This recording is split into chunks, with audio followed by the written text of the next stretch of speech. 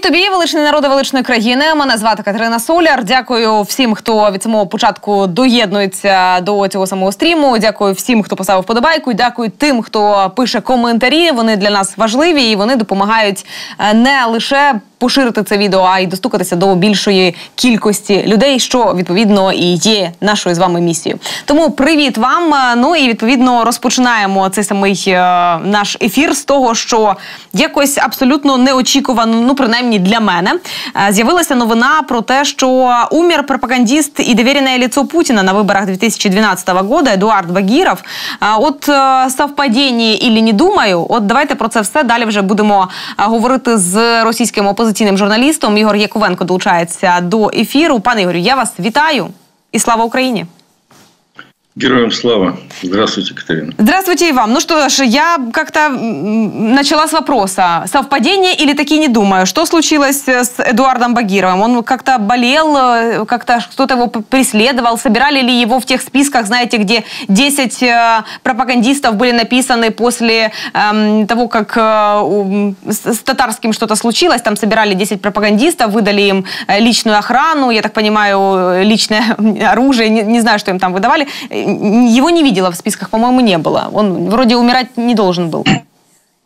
Вы знаете, по поводу э, вот тех, кто должен умереть из э, пропагандистов, это надо спросить э, наших, ну, во-первых, ФСБ, во-вторых, значит, других силовиков, ну, тех, кто занимается вот подобного рода вещами, потому что, ну, они знают, они эти списки составляют, они, собственно говоря, приводят это в исполнение, то есть они определяют очередную сакральную жертву, они как бы зачем-то убили Дарью Дугину, э, когда ее просто надо было судить, конечно, но или там люстрировать, но это уже как бы дело такое.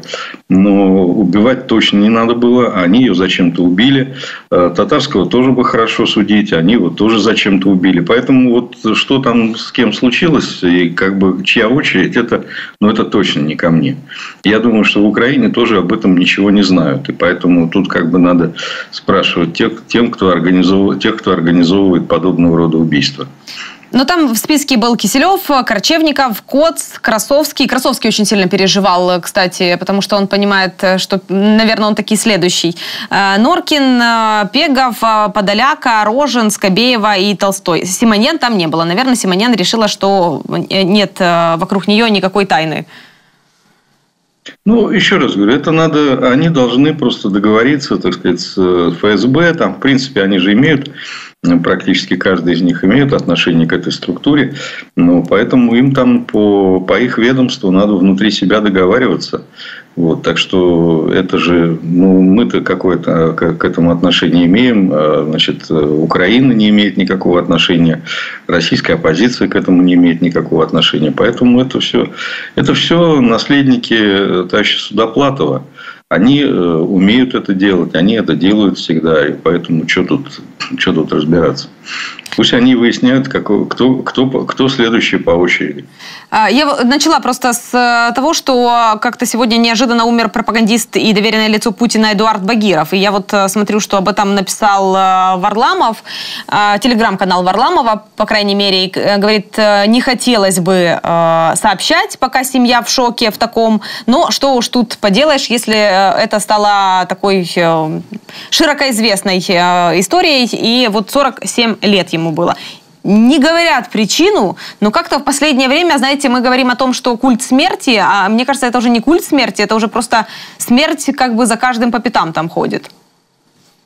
Ну, э, слушайте, значит, вообще война это дело такое. Значит, война и смерть это какая-то история, которая всегда сопрягается. И поэтому, но вот эти ребят я понятия не имею. Э, Вообще, честно говоря, Багиров это такая фигура малозначительная, что я даже не, не очень понимаю, кому и зачем понадобилось его убивать. Вполне возможно, он умер естественной смерти. Это настолько, ну да, смерть каждого человека это действительно важно, там, понятно. Но э, человек, в общем, мало, мало значительный, поэтому, ну, что называется, умер и умер.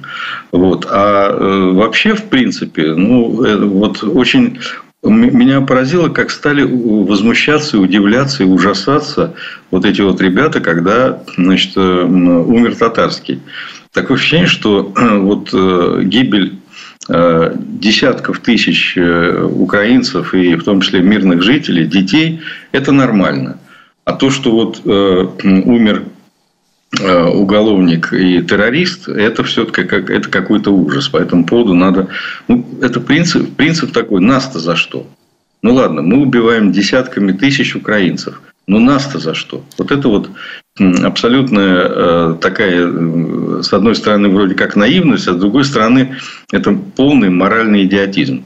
То есть непонимание того, что в конечном итоге война – это обоюдоострая острая история, что она обязательно возвращается, обязательно она приходит в Россию и придет в Россию, и в Москву придет, и в каждый российский город. То есть это, это настолько очевидно, что когда люди э, ужасаются этому, удивляются этому, то остается только недоумевать, как вообще такие люди дожили до, до достаточно взрослых лет и ни, ни, ничему так и не научились в жизни.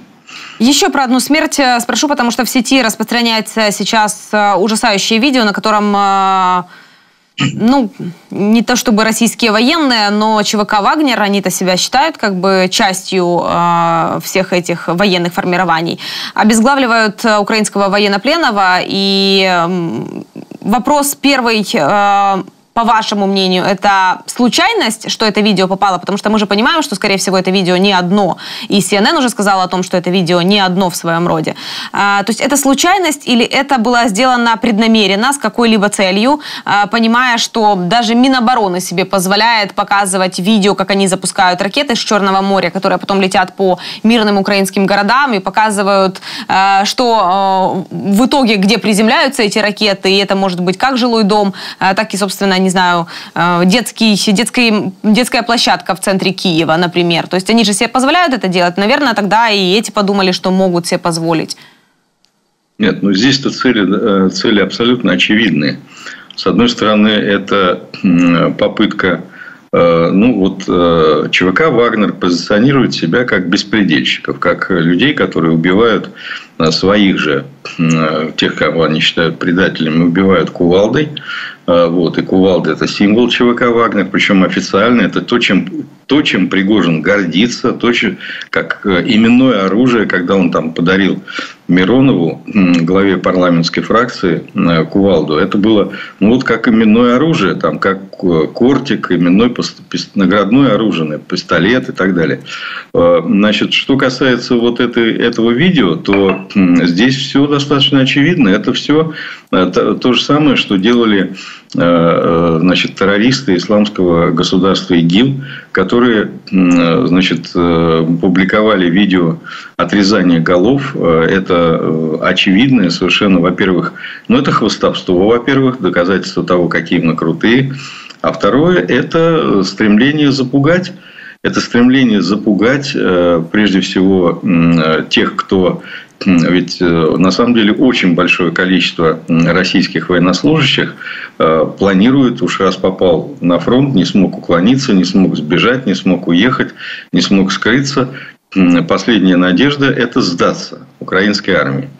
И вот, э, значит, э, попытка вот таким вот образом запугать, вот что с тобой будет, если, если ты, э, так сказать, попытаешься сдаться. То есть, вот какие, какие страшные люди будут заниматься твоей судьбой. То есть, ну, очевидно, это попытка запугать, посеять страх.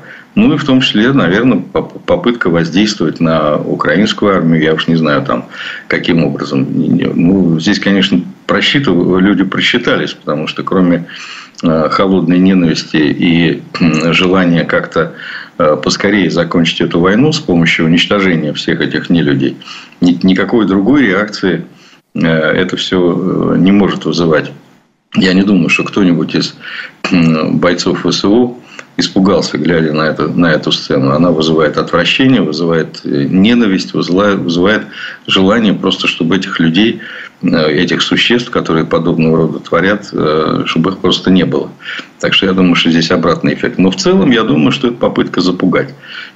Попытка вокруг ЧВК «Вагнер» создать такой ореол ужаса для того, чтобы свои боялись, ну и попытка запугать противника показать всему миру, как, как, насколько страшная эта контора ЧВК «Вагнер», чтобы боялись. Да сколько их там уже осталось, этих э, ЧВК «Вагнер», которых э, нужно бояться? Они уже, сам Пригожин сказал, что они отдали уже какие-то районы под э, управление или под руководством линию фронта Минобороны, потому что их не, хватает на все эти... Фронтовые линии, которые они пооткрывали. Вы говорите беспредельщики, а, а я думаю о том, что они же из зоны, они вроде как по понятиям должны каким-то жить, нет? Ну, во-первых, там тех, которые... Ну, слушайте, значит, во-первых, э, понятие – это прошлое. Понятия, они ушли, э, значит, в историю где-то там, я не знаю, в 70-е, 80-е годы еще были какие-то люди по понятиям. Отдельные, так сказать, там, воры в законе и прочее, вот э, те, которые по понятиям, они еще там остались э, на, в российских зонах. Они, кстати говоря, против Пригожина выступали и выступают. А, э, Пригожин, так же, как и Путин, это беспредельщик. Это совсем другая другая, что называют, как они говорят, другая мать. То есть, это люди, которые не знают никаких понятий, у них вообще никаких норм нет. Путин такой же точно. Именно поэтому они с Пригожиным сошлись. Путин родом из э, так называемой организованной спортивности. Они как раз воевали с ворами в законе, с этими татуированными синими. Именно на почве того, что они никаких понятий не признают. И Путин никаких понятий не признает. Это, это беспредельщик, точно так же, как и Пригожин. Они именно поэтому подобное тянется к подобному. Так что там никаких ограничений нет. Это не стоит ждать от них. И это первое. А второе, вот э, те, которые из зоны, те, кого Пригожин вытащил из колоний, э, все эти уголовники, они давным-давно уже лежат в украинском черноземе. Их э, в первую очередь э, использовали, утилизировали, и сейчас Пригожин уничтожает свой кадровый состав. Вот тот самый свой, свой так называемый золотой фонд, который, собственно, еще оставался. Потому что первое время он его берег, ну а сейчас ему надо каким-то образом обязательно брать Бахмут, потому что ему нужно Путину какой-то, хоть, хоть какой-то результат показать. А, и, видимо, они же встречались, и, видимо, он ему обещал хоть что-то, хоть что-то взять. Поэтому он сейчас не жалеет ничего, а, кладет свой, э, остатки своей кадровой, кадровой армии. Ну, говорят, опять-таки, эксперты говорят, что, в принципе, если он таким образом будет дальше двигаться, то недели на две хватит, э, хватит его кадрового состава. Ну, а дальше он будет, конечно, набирать. Путин даст ему возможность набирать новых. Но это будет уже ну, совсем уже такое пушечное мясо, необученное, потому что, конечно, э, ценность для Путина э, ЧВК «Вагнер» заключалась в том, что это все-таки люди были, которые прошли, они воевали и на Донбассе, значит, на стороне террористов, они воевали и в Сирии, они в Африке воевали, то есть, на самом деле, это люди, имеющие опыт. Вот эти, этих людей уже скоро не останется. Пригожин будет набирать новых. Э, в принципе, дураков и мерзавцев в России хватает для того, чтобы набрать в ЧВК «Вагнер». Но эффективность этой структуры, конечно, будет уже не та, что сейчас.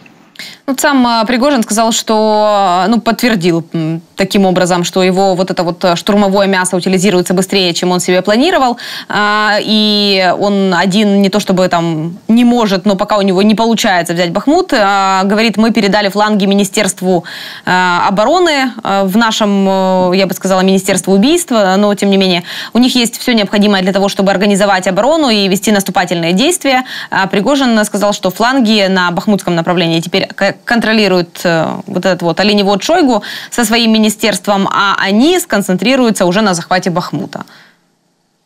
Ну, опять-таки, здесь э, большой вопрос, э, потому что взаимная любовь Пригожина и Шойгу, она известна. То есть, Пригожин как только не называл Шойгу, Шойгу, так сказать, несколько раз подставлял Пригожина. Поэтому как они будут координировать, если фланги контролирует Шойгу, а Пригожин будет пытаться э, наступать в центре, ну, будем надеяться, что взаимная Кто кому любовь... будет заградотрядом?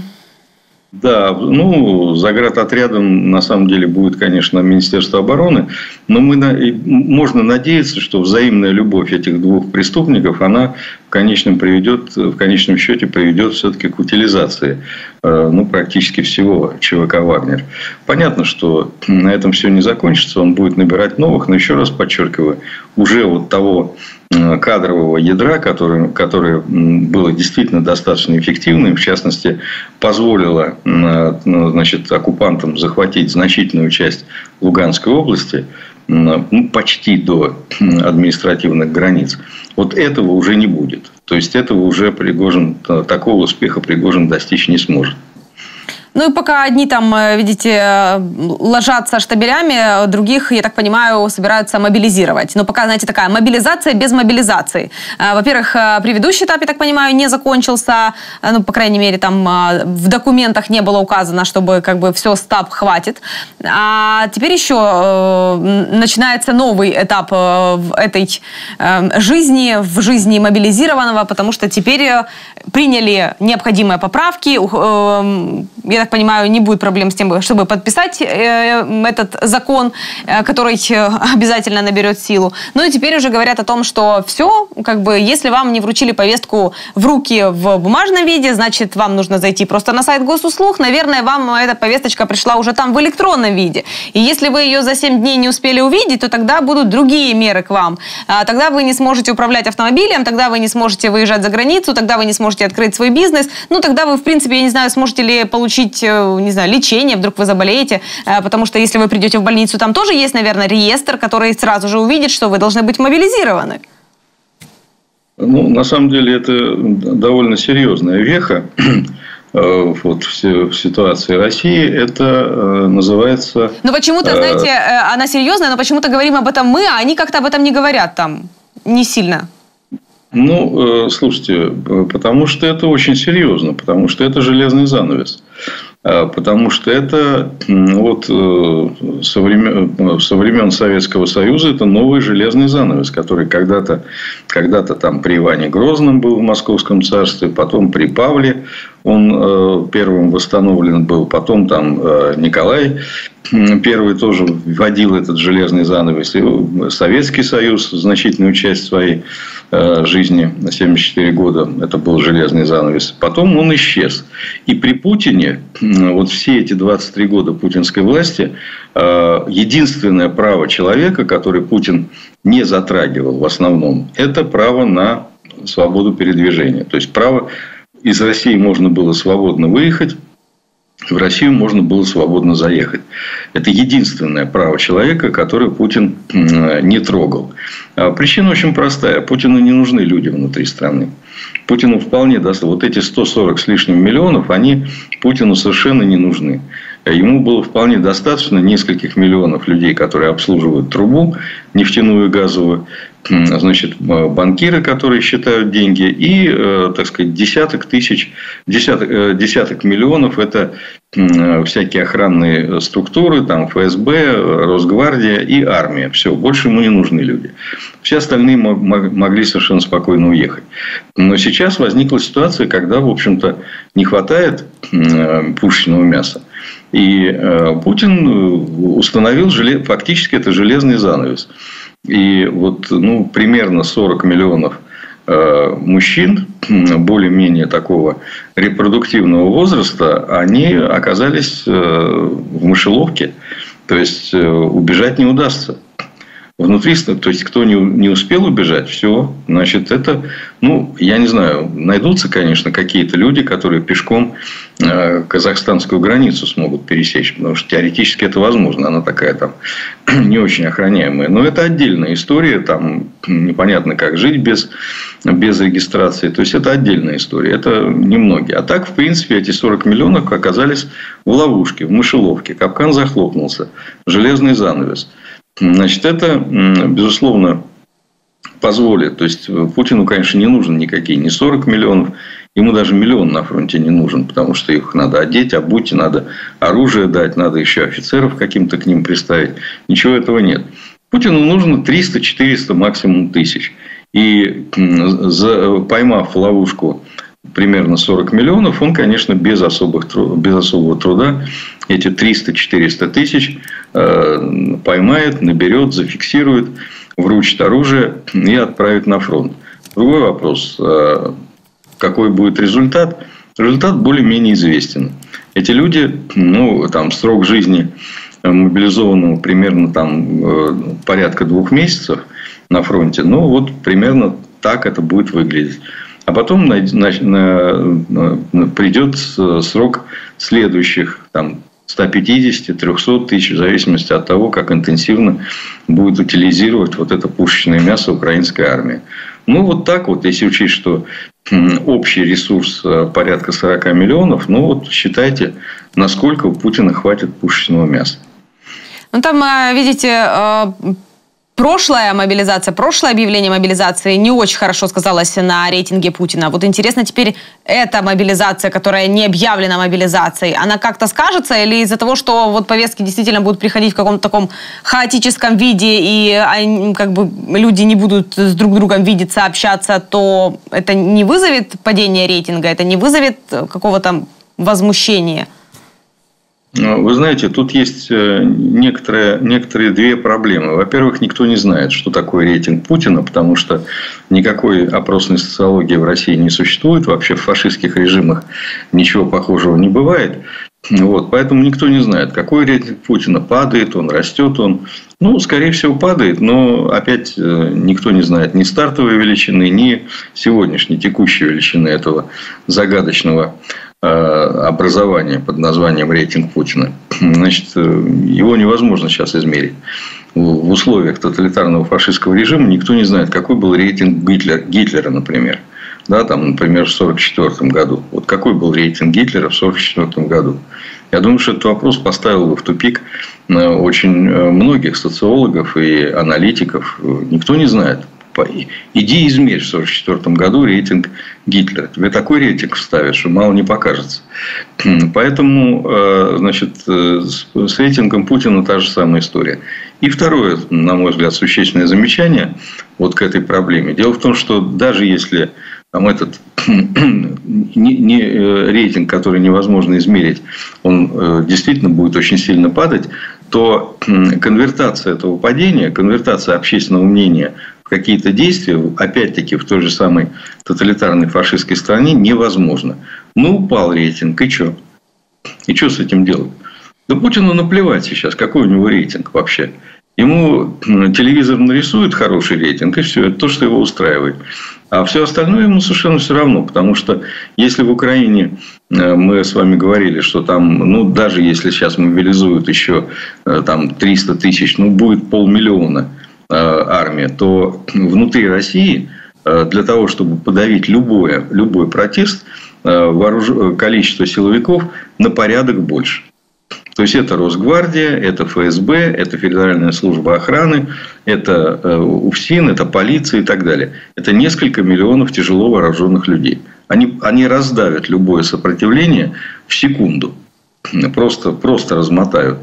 Э, миллион выйдет, они убьют миллион и э, забудут, так сказать, чихнуть по этому поводу. Поэтому э, такое невозможно. Как, тут единственное, единственное, что может каким-то образом привести к тому, что вот это вот... То, что, конечно, ненависть к Путину, она сейчас очень серьезная. И она прежде всего, конечно, прежде всего у его обслуживающего персонала. Мы э, помним наверняка э, вот эту замечательную беседу двух э, значит, халуев путинских, Иосифа Пригожина и бывшего сенатора, когда они каким только матом они не ругали президента Российской Федерации. А это, это как раз ближний круг. Это, те сам, это та самая обслуга путинская, на которую он, в общем-то, рассчитывает. Один бывший сенатор, второй, так сказать, э, телевизионная персона, в чистом виде обслуга путинская. Они его ненавидят. Но это никак не сказывается, потому что они боятся Путина больше, чем э, последствий путинского правления. Когда ситуация изменится, когда они будут бояться грядущего суда, когда они будут бояться больше грядущего там, народного восстания в результате того, что силовики перестанут Путина поддерживать, вот тогда Путину конец. Тогда все это рухнет. А, ну и пока, знаете, тут э, пишут о том, возмущаются о том, что Госдума приняла закон об электронных повестках, э, как всегда, без всякой подготовки, без общественного обсуждения, без независимого юридического анализа за полдня э, во всех трех чтениях сразу. И там вот сейчас говорят о том, что они даже в глаза, я так понимаю, не видели, за что проголосовали. А, то, а, с другой стороны, в Госдуме рекомендовали мужчинам, подлежащим призову э, и работающим за рубежом, взять отпуск и вернуться в Россию для прохождения службы. Да, это гениальное совершенно предложение. То есть, э, значит, э, ну, в таких случаях обычно спрашивают, а веревку с собой брать или на месте дадут. Да, это вот из того старого бородатого анекдота. Значит, э, ну, действительно так. Вот это очень актуально. Значит, люди, которые по понятным причинам сбежали от э, мобилизации, которые не хотят принимать участие в этой войне по разным причинам. Кто-то противник путинского режима и просто не хочет убивать украинцев. А кто-то, кому-то жизнь дорога. Понимает прекрасно, чем это кончается. Прогулки, подобного рода прогулки в Украину. Но вне зависимости. Это люди, которые точно не хотят оказаться на фронте. И вот э, романтическое предложение значит, им взять отпуск э, на год и пойти отслужить, оно, конечно, выглядит но оно отражает вообще глубокий внутренний мир. Это же э, генерал, сказал председатель комитета по обороне Госдумовской. Угу. И вот ну, это уровень вот э, этих э, думцев, этих генералов. Такое вот предложение, оно внушает почтение к интеллектуальным способностям этого персонажа. Но ведь пока э, там предложения в Госдуме одни, э, Симоньян э, увидела пост от Илона Маска, где он написал, что им нужен вице-президент по пропаганде, имея в виду по связям с общественностью, такие смешные шутки пишет Илон Маск в Твиттере, то в этот момент Маргариточка Симоньян написала, что она готова. А буквально вчера она говорила о том, что а в чем проблема? Давайте регистрацию на госуслугах сделаем обязательной. К чему вот эти ваши красные э, бумажечки, называемые паспортами, это уже все давно забытое старое, от него нужно отходить, поэтому давайте сделаем обязательную регистрацию всех в госуслугах, чтобы никто не говорил о том, что повесточку он не получил. У меня есть только один, все это, это замечательно, у меня только один единственный вопрос есть по этому поводу. Как она представляет себе регистрацию на госуслугах? Э, есть такой человек, Путин Владимир Владимирович.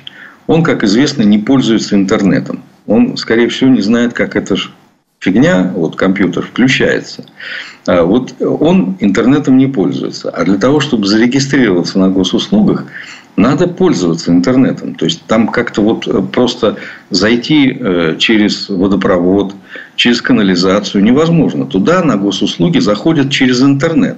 Путин интернетом не пользуется. Следовательно, возникает очень важный вопрос. Как конкретно Путина, Владимира Владимировича, она собирается вот впихнуть в, в эти госуслуги. Каким способом?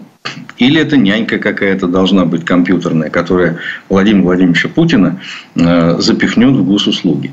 То есть, это я к чему? Ну, с Путиным, да, я думаю, что у него есть э, какие-то люди специально обученные, которые как-то решат эту проблему. Я просто к тому, что а, очень большое количество людей в России, которые интернетом не пользуются. Как она заставит этих людей зайти на госуслуги, которые, э, значит, э, ну, помните замечательная ситуация, когда какой-то мальчик э, сказал, что Владимир Владимирович, у меня к вам просьба. Какая? А подпишитесь, пожалуйста, на мой YouTube канал. Угу. И Путин долго добивался от него, где подписать-то, покажи бумажку. Ручку дайте где мне. Я... Да. Да, дайте, дайте ручку и бумажку, где подписать, где твой YouTube канал, чтобы я на него подписался. Вот это, понимаете, это, ну, вот когда, когда, говоря, когда я говорю, что Путин не, не пользуется интернетом, мне говорят, ну нет, он, наверное, просто скрывает.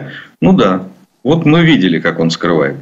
Я просто к тому, что, ну, понятно, что таких, как Путин, нет, но э, людей, которые не пользуются интернетом, в России достаточное количество. И как э, вообще, это что будет? Поражение в правах – это будет э, разделение. Ну, в общем, короче говоря, вот эти вот люди, там, Маргарита Симонян и прочие обитатели телевизора, они действительно живут в каком-то в каком-то своем мире, который имеет очень небольшое отношение к России, к Украине, вообще к тому, что происходит на белом свете. А, вы знаете, я вспоминаю другую историю о том, что а, к нам попал какой-то военнопленный, который рассказывал о том, что говорит, ну, давай э, позвоним твоим родителям и скажем, что ты здесь, да, чтобы они понимали, где тебя искать. Поговоришь по телефону. Он говорит, я не могу позвонить, потому что у них нет телефона. Они живут в каком-то селе, в котором у них нет телефона, нет связи, нет интернета. И он говорит, ну, каким образом тогда связаться с твоей родней? Он говорит, ну, если маме надо позвонить, она берет у соседей какой-то телефон, выходит высоко на гору и там пытается дозвониться ему по этой мобильной связи. А, и когда мы говорили о том, что, ну вот смотрите, это же сейчас, наверное, Россия взбунтуется после там первого или второго месяца, бренды выходят, бизнес закрывается, то нам все говорили о том, кто, там Петербург, Москва, ну может быть, кого это затронет. Все остальные даже не заметят вот этого всего. Да и Петербург, и Москва тоже э, совершенно спокойно. Понимаете, тут э, проблема заключается в том, что вот наши какие-то представления о том, что вот э, санкции очень серьезно работают. Слушайте, количество миллиардеров в Москве. Москва вошла в шестерку городов мира, в которой больше всего миллиардеров. За время войны число миллиардеров в Москве выросло на 8 человек. Выросло на 8 человек. Там, говорят, даже так бывшая что... путинская жена сейчас очень хорошо зарабатывает на кредитах. Да, то есть на самом деле вот э, это, это просто к вопросу о том, что санкции э, могут, с помощью санкций можно победить путинский фашизм. Когда-то в очень отдаленной перспективе, может быть, когда-то эти санкции скажутся – но э, никакого отношения реально к состоянию на поле боя сейчас эти санкции не имеют. Просто никакого. Поэтому вот это просто к вопросу о том, что единственное, что нужно требовать от Запада, это оружие. Больше ничего. Никаких э, дополнительных санкций. Все это потом. Это все на добивание. А сейчас только оружие. Санкции не решают вопрос. И еще раз, вот на 8 человек выросло количество миллиардеров. Я сказал, по-моему, миллионеров ошибся. Миллиардеров, долларовых миллиардеров стало в Москве на 8 человек больше. То есть, это серьезно. Э, и это к вопросу. Ну, да, понятно, что далеко не все москвичи долларовые миллиардеры и даже долларовые миллионеры, но тем не менее, э, в целом, вот сказать, что там какие-то ужасные страдания, нет абсолютно. Нет, нет такого. Жизнь продолжается, кафе работают, рестораны работают, кино работает, э, продукты есть. Так что э, и э, в основном все-таки война в крупных городах не чувствуется, пока она туда не пришла. Я думаю, что, учитывая то, что сейчас Украина всерьез осматривает в качестве военных целей, в том числе и какие-то объекты в крупных городах, в том числе и в Москве, я думаю, что в ближайшее время, э, в общем-то, Россия, в том числе крупные города, почувствуют, что война все-таки существует, что она не только в телевизоре. Это вы так ссылаетесь на те данные, э, на те секретные документы, которые стали не совсем секретными, которые попали в э, интернет-пространство пентагоновские? Вы знаете, я вообще на них не очень хочу ссылаться, потому что, да, это, скорее всего, реальные документы, но Э, вот я, я довольно внимательно посмотрел э, эти документы, посмотрел, э, что там написано. Я, я понимаю, что там какие-то есть конкретные цифры. Во-первых, некоторые цифры просто липовые. То есть, очевидно, что прежде чем опубликовать эти документы, кто-то очень, не очень умный, но достаточно ангажированный, довольно сильно поработал фотошопом. То есть, в частности, вот э, количество погибших с, с российской и с украинской стороны явно перевернуто, то есть с точностью до наоборот. Это очевидно, очевидная лажа. Вот. А все остальное, ну вот, откровенно говоря, ничего особо нового я там не увидел. Больше всего поразило людей, каких-то очень наивных, что значит, э, Пентагон прослушивает э, руководство стран-союзников, в частности Украины. Ой, какая новость. Оказывается, Зеленского американцы прослушивают. Но то, что они прослушивали а, а, Ангелу Меркель, то, что они прослушивали французского президента, то, что они прослушивали... Ну, понимаете, э, вот была бы сенсация, если бы выяснилось, что вот, э, вот Зеленского они решили не прослушивать. Вот это была бы сенсация. Это было бы удивительно. Все слушают всех. Это, это аксиома сейчас. И, ну, да, это, наверное, неприятно. Наверное, так сказать, Зеленскому или там Залужному, э, ну, немножко неприятно было убедиться, что в документах написано о том, что его прослушивают. Но это было очевидно и так. Поэтому вот, вообще никаких новостей, вообще в целом роль и значимость этой, э, этой публикации, этого слива очень сильно преувеличена. Я не думаю, что это, конечно, Министерство обороны США, Пентагон и Министерство юстиции сейчас проводят расследование, должны они разбираться, кто слил, зачем слил, кто там фотошопил и так далее. Это их дело. Но никакого значения этот слив, ни, ни, никакого значения ни на э, готовящееся наступление Украины, ни на э, помощь военную, никак это не, никакого воздействия не окажет. То есть, я не вижу никакого, никаких последствий, кроме расследования, которое американцы у себя проводят, но это их дело. А, тогда я еще вернусь на шаг назад э, по поводу вот этих вот, знаете, миров, где заметят, а где не заметят э, о том, что ушли бренды, не ушли бренды, как эти санкции действуют. Я вот смотрю, знаете, а, сегодня депутат э, Госдумы Олег Нилов предложил ввести военный налог. Говорит, ну что, вам жалко, там 2-3% вы не заметите, вам добавят и все, и все будет хорошо. Я так понимаю, деньги заканчиваются в бюджете, иначе зачем тогда этот налог вводить? Хотя в армию вы и так же как будто вкладывали бешеные какие-то какие-то деньги. И при этом а, смотрю на другой мир, где жена э, Нарышкина была замечена в Париже на автомобиле «Мерседес» российского посольства. Прекрасно себе женщина поживает и очень радуется загнивающей Европе, я так понимаю. Вы знаете, э, я не, не уверен на 100%, что вот эта инициатива господина Нилова, она станет законом. Потому что, понимаете, сейчас э, ведь что из себя представляет вот этот вот депутатский корпус? они отмечаются. Они должны, если вот в предыдущих созывах, э, в некоторых, по крайней мере, вот э, в том, э, когда я работал депутатом Госдумы первого созыва, там была достаточно большая прослойка таких депутатов-лоббистов, которые сидели тихо, как мыши, и просто, и просто тырили деньги. Ну, просто зарабатывали на своем депутатском мандате. И нифига не делали. Сейчас так не проскочишь. Сейчас они должны все активничать. Они все должны доказывать свою лояльность, свою верность. Они должны выступать, они должны орать, они должны требовать смертной казни. Они должны обличать э, фашистский режим Украины и так далее. То есть, они как-то должны доказывать свою преданность. И поэтому они постоянно выступают с какими-то безумными инициативами. Есть такой депутат Матвейчев, который выступил с идеей э, объявить э, феминизм, ну, то есть движение за права женщин, объявить это экстремистской идеологией и запретить.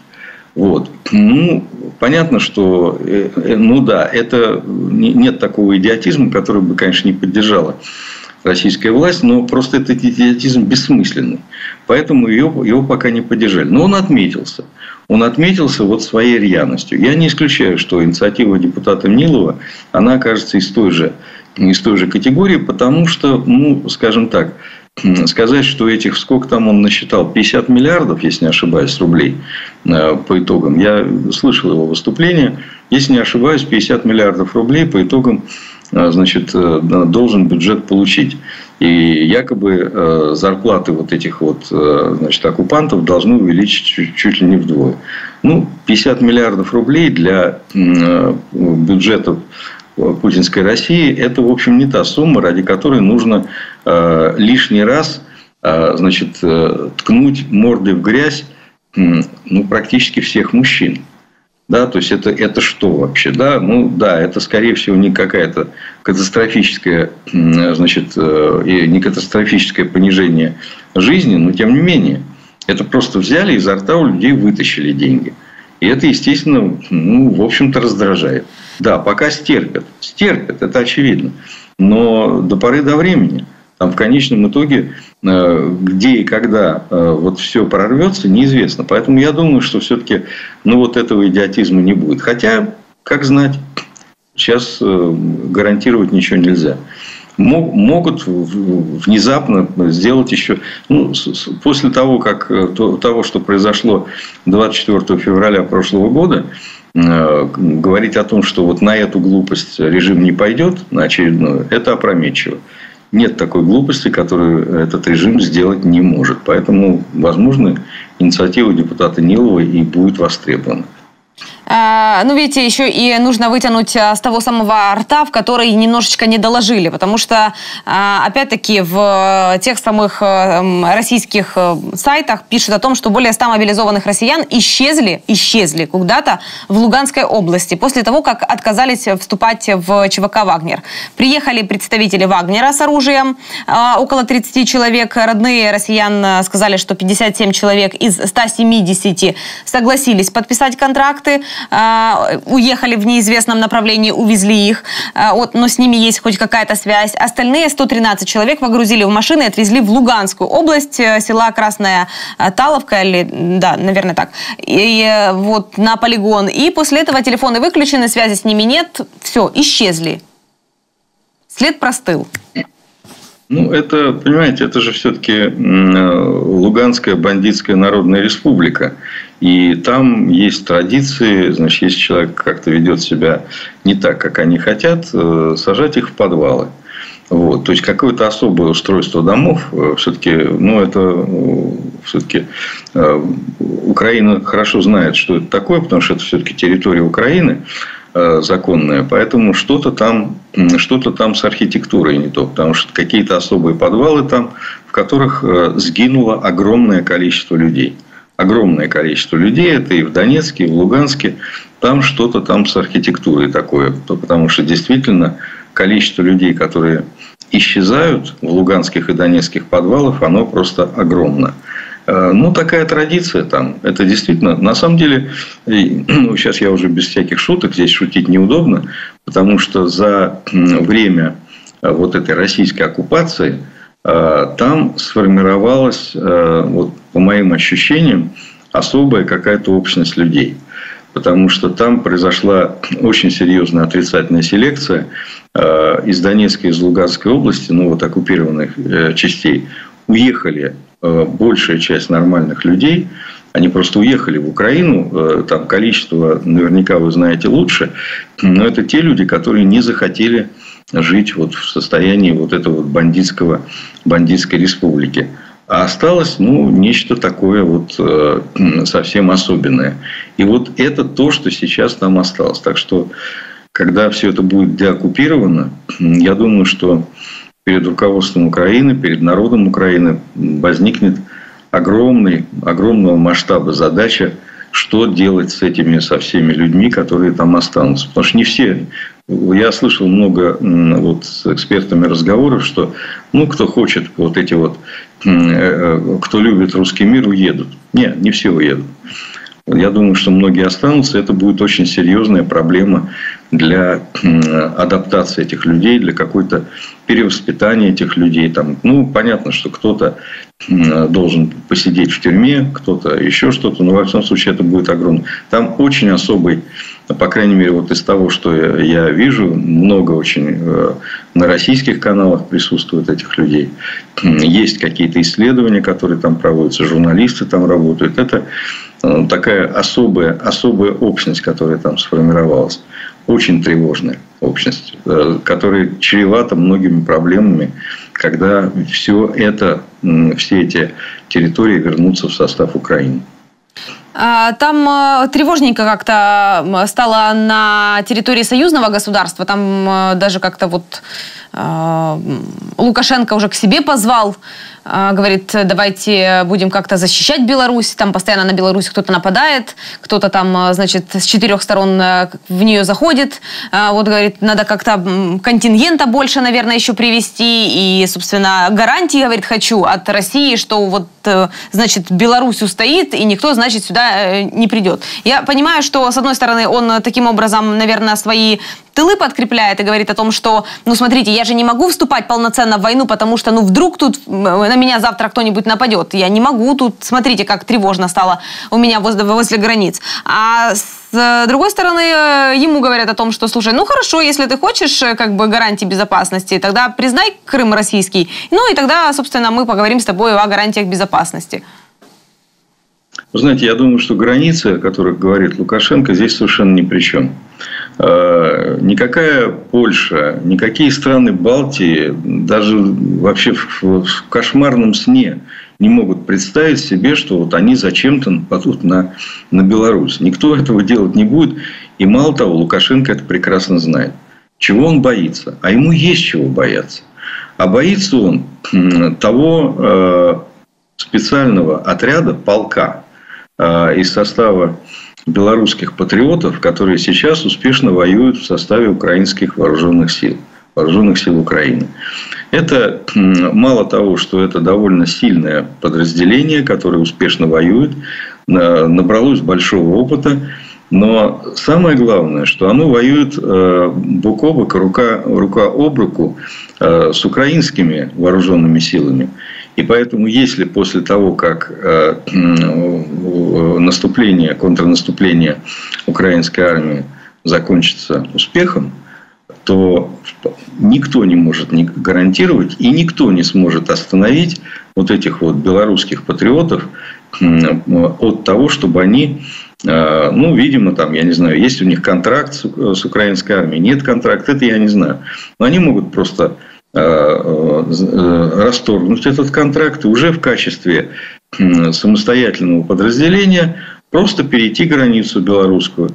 И самое главное, что никто не сможет остановить значит, их побратимов из числа боевого, боевого братства Э, украинцев, русских, там, я не знаю, э, представителей любого другого, любого другого народа, которые захотят вместе с ними, вместе с белорусами освобождать Белоруссию, Беларусь от э, фашистского диктатора Лукашенко. Вот это самое страшное. Вот это реальность. Потому что это не какая-то страна, которая нападет на Беларусь. Это белорусы, которые придут освобождать свою родину. И вот с этим, что делает Лукашенко, он, видимо, пытается понять. Потому что он прекрасно понимает, что там никакого иностранного нашествия не будет. А вот с этими что сделать? С людьми, которые э, умеют воевать, которые имеют боевой опыт и которые будут поддерживать не вооруженные силы Украины, совершенно очевидно, что э, ни, ни Зеленский, ни э, генерал Залужный никогда не отдадут приказ вторгаться в Беларусь. Это, это совершенно очевидно. А, значит, но э, останавливать белорусов, которые хотят, хотят освободить свою землю, я думаю, что никто не будет. Поэтому вот эта опасность, причем это смертельная опасность для Лукашенко, потому что с этим он сделать ничего не сможет. Ну а дальше уже, я уж не знаю, там Тихановскую они позовут, она там недалеко, рядом сидит или, так сказать, э, будут э, обустраивать свою землю как-то иначе, это уже их дело. Но Лукашенко на этой земле уже не будет. Не то, что президентом, он не будет свободным человеком. Потому что, конечно, его попытаются либо, ну уж не знаю, там они будут решать в Гагу его отправить или в Минск его судить. Но, во всяком случае, э, он, он понимает прекрасно, что конец его будет весьма и весьма печальный. Причем довольно быстрый. Ну да, в этом случае твоя тактическая ядерная э, оружие, твоя тактическая ядерная, там, не знаю, боеголовка, она точно не поможет в этой истории. Тем более, что она не его. Ну да, еще один нюанс. Не его. Красиво просто дома постоит, как э, мебель. Просто, просто красиво. Пускай будет. Э, сегодня, опять-таки, наконец-то всем э, решили показать, не знаю с какой целью, но всем сегодня решили наконец-то показать э, мальчика Федора, который героически в Брянской области спас, значит, то ли девочек, то ли не девочек, потому что теперь уже говорят детей, двоих детей. Тогда говорили двух девочек, теперь двоих детей. От кого спас, как спас, куда спас, что он для этого сделал, не сообщается, но свою медаль за отвагу он таки сегодня получил. Информационных поводов вообще больше никаких нет, кроме мальчика Феди. Ну, этот, э, дело в том, что этот повод, он давно раскручивался, и как бы герои-то нужны, а героев нет. Э, ну, есть, конечно, герой, это э, Пригожин, но он так, герой, и, кстати говоря, Пригожин, он позировал вместе с нашим генерал-омбудсменом э, Москальковой. Они там договорились о сотрудничестве. Вообще это потрясающе. Я понимаю, что я, э, может быть, увожу в сторону, э, но это потрясающий сюжет. Понимаете, человек, который формально должен защищать права человека, она встречается и договаривается о дальнейшем сотрудничестве с уголовником, садистом и убийцей, который кувалдой убивает людей. Это замечательно. Это очень такой хороший штрих к правам человека российским. Что касается мальчика Федора, ну, слушайте, вы знаете, ну, вот, а где герой? Вот назовите. Значит, был герой татарский. Ну, все, похоронили, все уже. А, ну, там, я не знаю, может, улицу его именем назовут, может, город там, ну, не знаю, город татарский. В принципе, есть, есть такие населенные пункты. Вот. Но, а, значит, где еще брать героев? Э, последний, э, последний год, ну, какие подвиги? Значит, э, Бахмут не взяли. Целый, уже скоро год, как будет штурм Бахмута, до сих пор не взяли. Что еще? Какие еще, какие еще подвиги? Ну, вот, были, были славные подвиги. Это два российских истребителя напали на американский беспилотник, облили его керосином, оторвали ему хвост и утопили в Черном море. Ну да, подвиг высокий. Людей наградили. Ну, сколько можно на этом подвиге? Это не, неделю об этом говорил российский телевизор. Неделю смаковал этот подвиг. Выдающийся подвиг. Ну, скажем, на этом все-таки долго не удержится. Вот мальчик Федор. Была еще украинская бабушка, если вы помните, которая э, встречала флагом, да. российские э, войска с российским флагом. Потом выяснилось, что что-то бабушка тоже не та. Выяснилось, что она украинская патриотка, что она таким образом пыталась задобрить этих самых оккупантов. На самом деле она как бы их э, э, ненавидит и желает им смерти. Ну, тоже, ну, памятник ей поставили, там тоже прославили, но, в общем, как-то что-то пошло не так. Я не знаю, что там будет с мальчиком Федором. Возможно, он, так сказать, потом выяснится, что он там тоже за Украину. Но пока нет, пока не выяснилось. Так что есть некоторая проблема. Вот нужна какая-то галерея героев. Вот э, татарский, вот эта бабушка, которая оказалась совсем не, не российская патриотка. Мальчик Федор, что еще? Не складывается пантеон героев. Явно не складывается. Э, и я думаю, что уже не успеет сложиться до конца войны. Вот у меня такое ощущение, что с этим будет большой дефицит.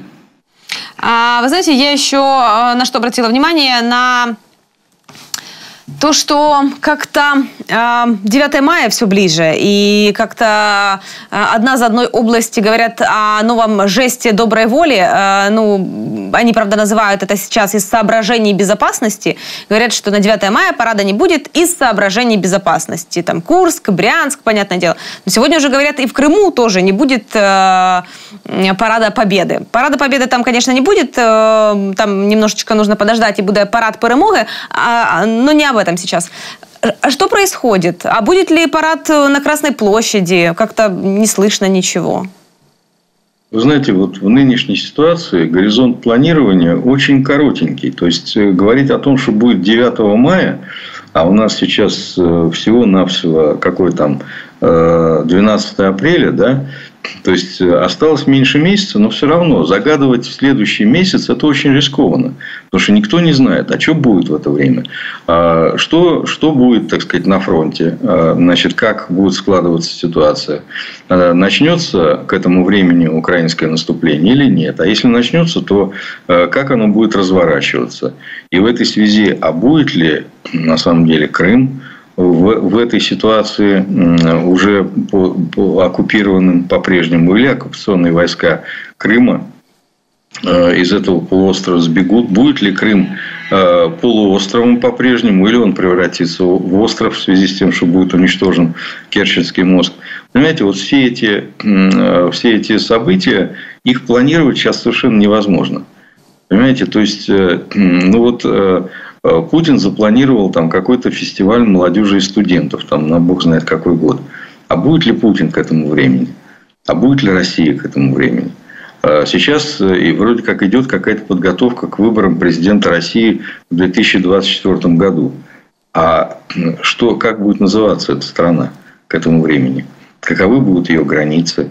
А, а, а будет ли к этому, к этому времени, так сказать, вот та власть, которая действует сегодня, она, э, будет ли она актуальна? То есть, это э, вот, знаете, как хочешь насмешить Бога, расскажи ему о своих планах. Вот примерно так это выглядит именно в связи с тем, что очень коротенький горизонт планирования. Он очень узкий. Планировать на э, завтрашний день можно. На неделю, ну, пожалуй, что можно. А вот на месяц уже как знать. Вот, э, особенно такие вещи, которые связаны с политикой. То есть, я думаю, что говорить о том, где, когда и как будет проходить парад Победы, сегодня ну, несколько преждевременно и, э, ну, скажем так, рискованно для репутации. Можно сесть в лужу. Но видите, пока мы поговорили с вами, как э, в честь э, кого и что назвать, э, тут, говорят, в Мелитополе появятся улицы Екатерины Великой, Ленина, Лермонтова, а также улицы Дарьи Дугиной и Александра Захарченко. Об этом сообщила глава города. Ну, как глава, так временно считает себя исполняющей обязанности, э, очень временно. Я не знаю, есть ли у нее автомобиль, там автомобиль сейчас очень небезопасное средство передвижения, в случае чего просто предупреждаю. Э, так вот, видите, в Мелитополе уже собираются переименовывать. Э, сегодня видела тоже историю, как выдавали Мариуполь за Санкт-Петербург или Санкт-Петербург за Мариуполь, показывая фотографии Санкт-Петербурга и говоря о том, что вот смотрите, как мы Мариуполь відновили, да, отстроили? Ну, а, опять-таки, с этими переименованиями есть проблема. Это действительно э, история достаточно затратная. И вот э, заказывать таблички на, ули... на, э, на дома, значит, ну, сто процентов придется назад переименовывать. Поэтому против переименования, я думаю, что никто не против. Главное, чтобы таблички не заказывали, потому что перевешивать их, потом каждый раз менять, это портить, портить дома. В общем, лучше, лучше, конечно, пока подождать. Переименовали и хорошо. И оставьте как есть. То есть, это было, было бы правильное решение. В конце концов, ну, чем, же, чем бы дитя не, не тешилось. Но главное, э, вот, не устраивать вот эти вот траты с табличками. Потому что все равно 100% придется назад, назад возвращать или там, к этому времени еще какие-то идеи появятся. Так что лучше, лучше пока не тратиться. Но хотя понятно, зачем это делается, потому что ничего другого они делать не могут. То есть привести в какое-то нормальное состояние город они не могут и не хотят. Они прекрасно понимают, что этот город временно их. Они это понимают, они это чувствуют. Им э, ВСУ, украинский, э, ВСУ дают понять, да и местные жители тоже. Потому что постоянно то один э, гауляйтер – что-то с ним случается, то другой. Там, ну, они постоянно курят в неположенных местах, поэтому что-то под ними взрывается. Но там не только курят, видите, там теперь еще и кабеля э, очень э, э, такие не огнеустойчивые, скажем так, потому что как-то в последнее время горит как-то много, но они не курят. То чайник загорелся, проводка подвела, а теперь уже, говорит, кабеля какие-то загорелись. А, тоже как-то на Москве как-то очень часто это происходит, поэтому там уже кабеля в этом виноваты, они уже не курят. Ну, понятно. Тут, ну, в любом случае, какие-то неприятности происходят. А если речь о гауляйтерах, то да, действительно, это гауляйтером, предателем э, в Украине это очень опасная профессия.